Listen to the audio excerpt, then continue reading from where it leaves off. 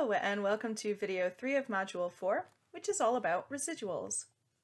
Residuals are one way of determining whether our predictions made from a least squares regression line are above or below the actual value, as well as how close to the actual value our predictions are. So let's get started. What better way to start than with a definition? So the residual is the difference between the observed and the predicted values. We can see this in the formula for residual, y minus y hat. Remember from the last video that the variable that wears the hat is the variable we were predicting. So in this formula, y is being used to represent the actual value that was observed from your data, and the y hat is being used to represent the prediction you get from your least squares regression line. So let's do some examples of finding the residual. Remember that throughout these Module 4 videos, we are looking at an example of data collected by Harriet concerning the displacement volume and the combined city and highway gas mileage of a variety of vehicles from 2017. We have previously determined that the displacement volume is the x variable and the mileage is the y variable so we'll be using that when we find our residuals.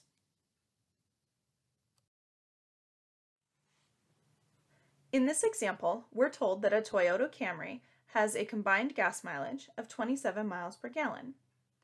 Use your answer to Part A to determine the residual for the Camry. We completed Part A in a previous video and found, using a least squares regression line, that the Camry had a predicted 27.093 miles per gallon. In this example, we are told that the actual gas mileage is 27 miles per gallon. Here we have enough information to determine the residual. The formula for the residual is to take the actual value and subtract our predicted value. In the description of this problem, we're told that the actual gas mileage is 27. So that is what we're going to substitute in for y. In the last video, we predicted that the gas mileage would be 27.093. So that is what we're going to substitute in for y hat. When we subtract these two values, we end up getting a negative 0.093. When we report our answer, make sure we label it. So because the y values are gas mileage in miles per gallon, I'm going to label my answer as negative 0.093 miles per gallon. Now that might seem a little strange to have a negative mileage. The reason we're getting a negative here is because our prediction was a little bit of an overestimate. We were 0.093 miles per gallon too high in our prediction. So that's why we end up with a negative. Similarly, if our prediction was an underestimate, then we would have found a positive residual. So let's do an example where that happens. Here we've been asked to determine the residual for a Hyundai Sonata. That's it, that's all we're asked to do. So we do need some information to be able to do this. First, we need to have a least squares regression line, and in the previous video we were told that Harriet found a least squares regression line of y hat equals 34.103 minus 2.804x. We also have a data table I don't need the full thing, I'm just going to produce the first couple of rows here because the Sonata was the third vehicle on the list.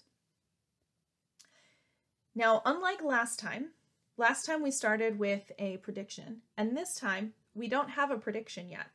So that's actually our first step in finding the residual, is finding the predicted y value. In order to find y hat, you have to know an x value. So that's where we're going to start.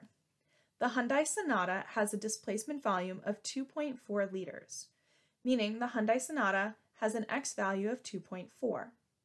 So to find y hat, I'm going to substitute 2.4 into the least squares regression line.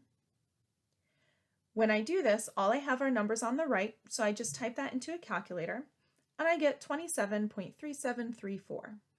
So that's going to be my y hat value.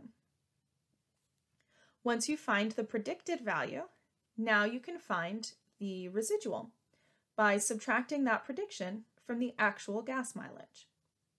According to the table, the Hyundai Sonata had an actual combined city highway mileage of 29 miles per gallon.